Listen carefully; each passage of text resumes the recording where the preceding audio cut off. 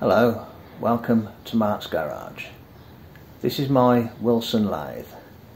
The viewer asked me to show some screw cutting specifically on this machine because he has the same machine which is I believe slightly later badged as an ensign. Uh, so this is particularly for one viewer. I'm just going to show some simple screw cutting. This is a piece of 5 8 bar this is a half inch nut, a wheel nut. Okay, so I'm going to put a thread on there to take that nut. I will talk it through for anybody that has no experience and I'll kind of try and use generic terms also for people with other lathes. This is a half inch 20 American, you know, SAE thread, UNF thread, half inch 20.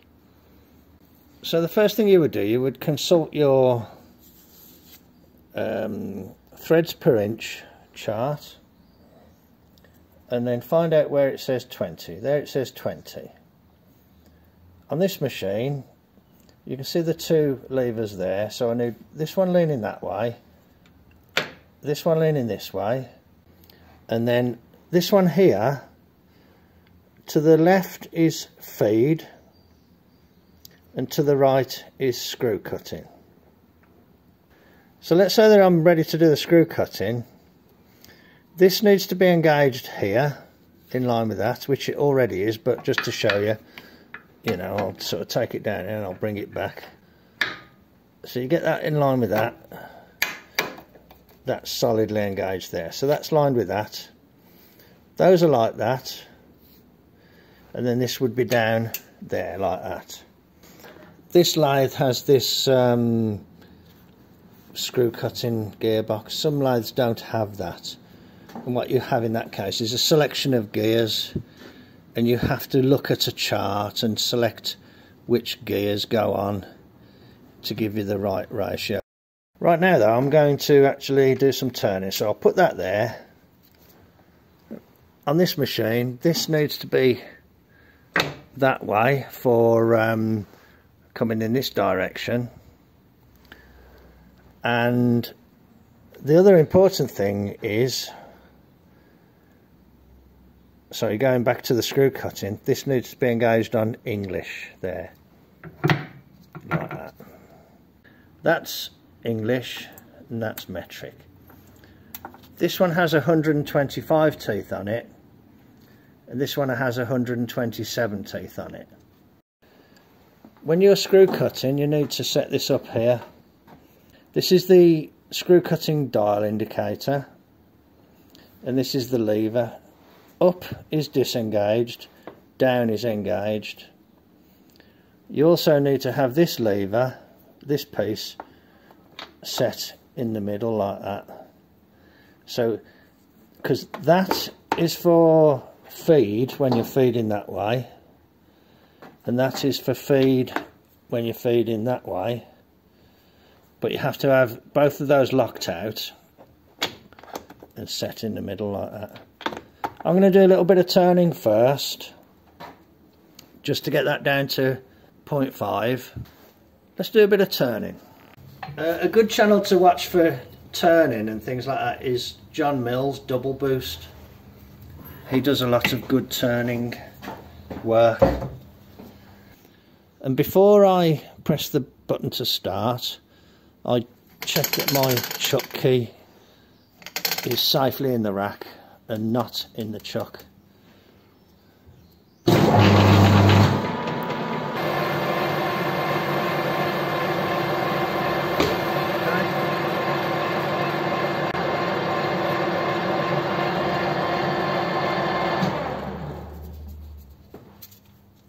Seems to be magnetic.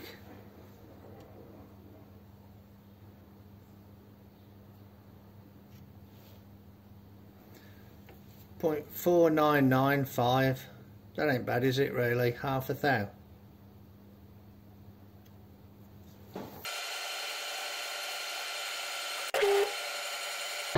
Just going to put a chamfer on there. A generous chamfer.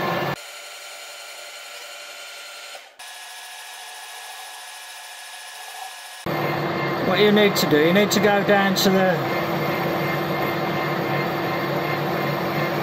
base diameter of your threads. Let's try this. Let's try this. Or I could look it up. Maybe I should look it up. 0.449. Hmm. Gone under a bit, I think.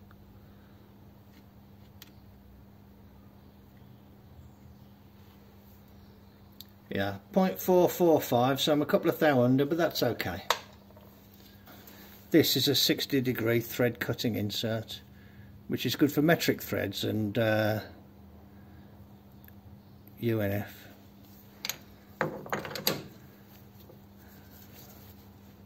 So that goes in there. I need to set the compound over to um, no, a no, nominal 30 degrees, but it's actually more like 29 and a half degrees.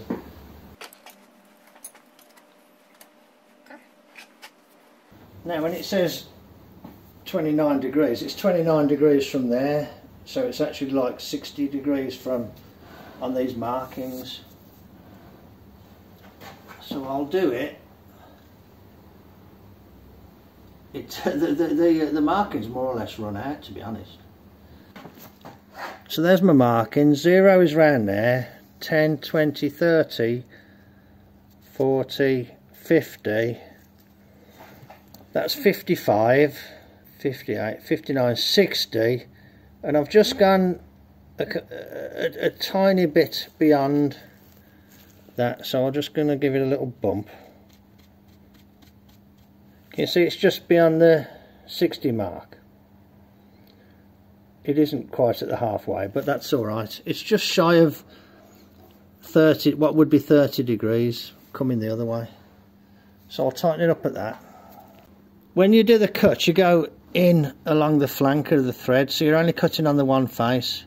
And that half degree error just touches the other face.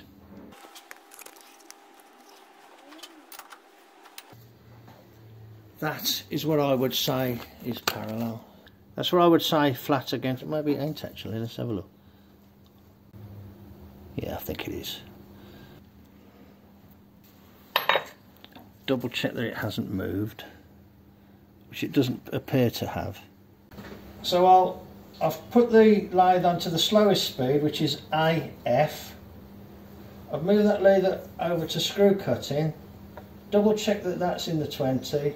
Double check that these are in the right position. Double check that that's on English. Move this this way, like that. Okay, so now when I now when I engage this lever,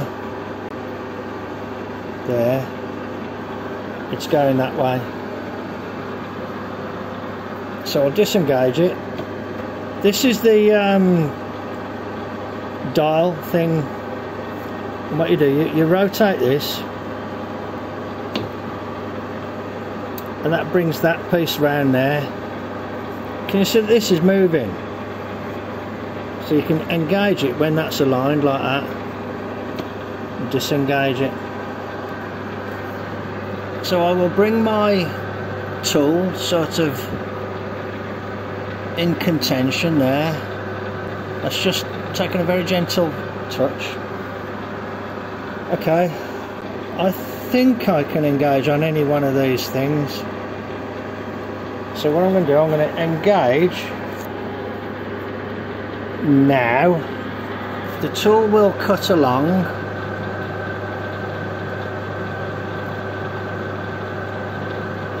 I'll hold the camera here but I'm reaching down with my right hand to the lever because I need to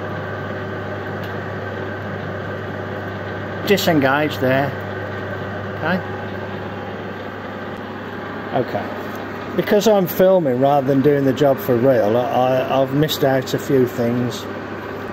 But we have we have sort of done a test cut there with a thread on it. So I'm going to stop the lathe while I kind of regroup.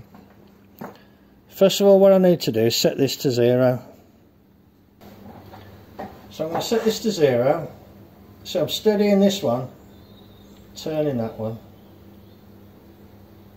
That's on zero. Bear in mind there's, there's a very slight cut on there but it doesn't matter. And I'm going to hold this still, set that to zero as well, which is there, I believe. Yeah, that's zero. I'm going to wind this one out like that. This is disengaged.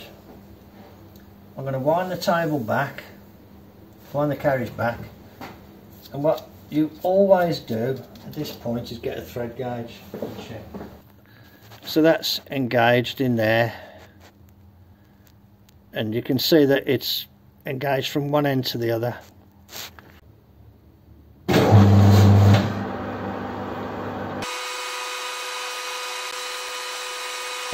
I'm just clear of the thing. I'm coming back to zero, I'm there.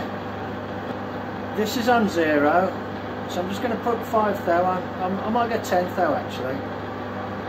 That's 10 thou, which you can do like a bigger cut early on because you're only taking a tiny bit. Okay, I'm going to wait for a thing to come round. I'm going to try it on any one.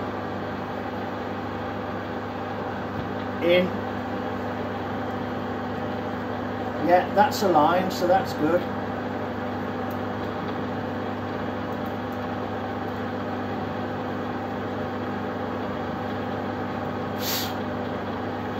Problem is when you get a few chips on there, you can't see it very well. So you leave your cut on there, then you bring this one back like that. Come out, come back to zero, give it a bit more of a cut. I'll give it another tenth there. Waiting for this to come around. Because I'm going so slow, this is taking a long time. When this comes round, I engage the lever. There. Now you can see it's a heavier cut now.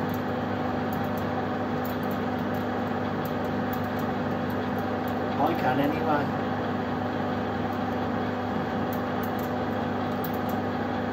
Right, I've got to keep my wits about me and pull the lever now. Right. So what I'll do, I'll bring your handheld for the next one. I thought I was filming then and um, I wasn't, unfortunately. I took a couple of cuts, but I'll just talk you through it. I'll do a spring pass at the same setting. I'm getting it in contention there. Bringing the cross slide to zero.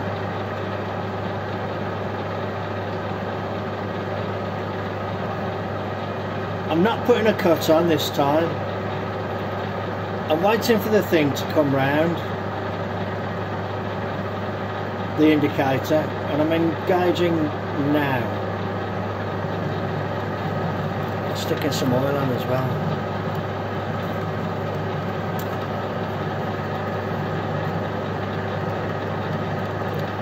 It's a bit awkward as you get more and more uh, chips building up because it's hard to see when you come to the end.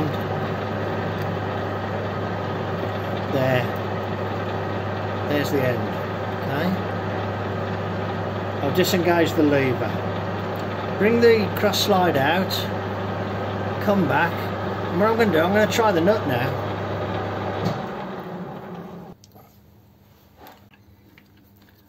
So there's the nut, that goes on. If it wasn't too critical that would be okay, but it is actually a bit loose. I should have stopped sooner. I can't remember now, there's a formula for working out how deep you need to go in. If that wasn't a critical job, that would be okay. There's just a little bit of roughness on the top of the threads. I'll show you a, uh, an alternate method, which is what you have to do if you are cutting metric threads on an English lathe or English threads on a metric lathe. You get in contention like that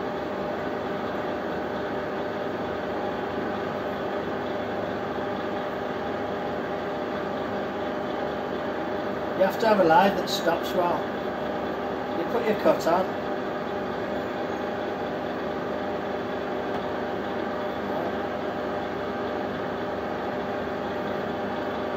Engage. You can't see it, but I'm, I'm reaching up for the stop lever.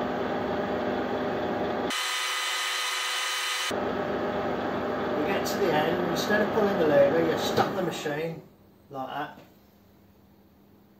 You wind this out and you then start the machine in reverse. Let it wind back. You don't disengage this. You get to the end, you stop the machine, you bring this back to zero you put your cut on, whatever it might be. You start the machine in the forward direction. It's still engaged, it's travelling already.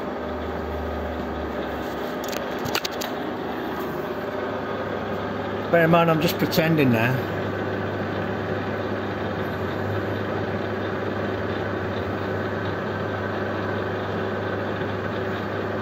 I'm reaching up for the lever. Stop the machine there.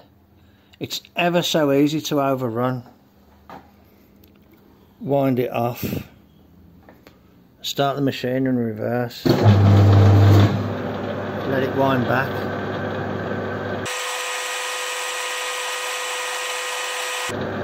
Stop the machine.